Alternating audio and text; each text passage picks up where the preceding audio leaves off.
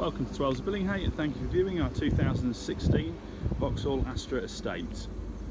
This particular car is fitted with the 1.6 litre diesel, 110 brake horsepower engine and it's the design navigation specification. Comes with alloy wheels, front and rear parking sensors, obviously the navigation system along with Bluetooth connection for the mobile phone.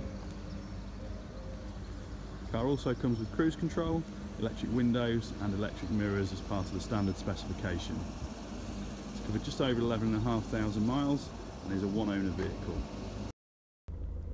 I'll just run through some of the interior specification with you. Now this car has only just arrived with us so it hasn't been valeted so if there's some dust and things please excuse that.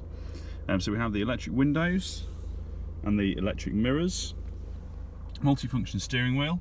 On the left hand side of the wheel here we have the cruise control and speed limiter and on the right hand side we have the controls for the Bluetooth for the mobile phone, the source and the volume for the stereo.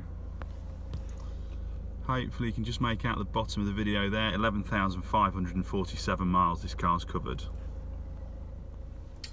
Moving over to the centre, as previously mentioned this car is the navigation model, so it does have the large colour navigation screen. And if we go into the menu you can see you do the phone settings, navigation settings and bits and pieces through there as well.